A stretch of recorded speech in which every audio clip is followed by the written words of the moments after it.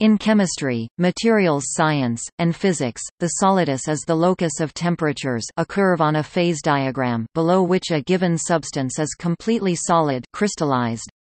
The solidus is applied, among other materials, to metal alloys, ceramics, and natural rocks and minerals.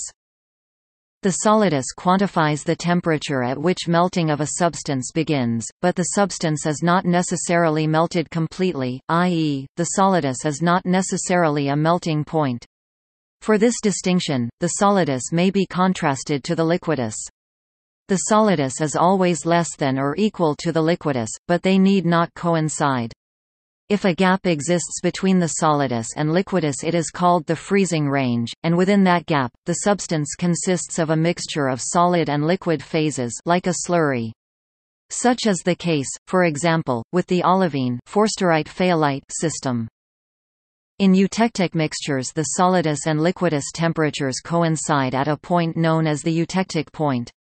At the eutectic point, the solid congruently melts i.e., melts completely.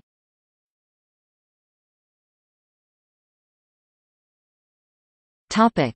See also. Melting, freezing point. Liquidus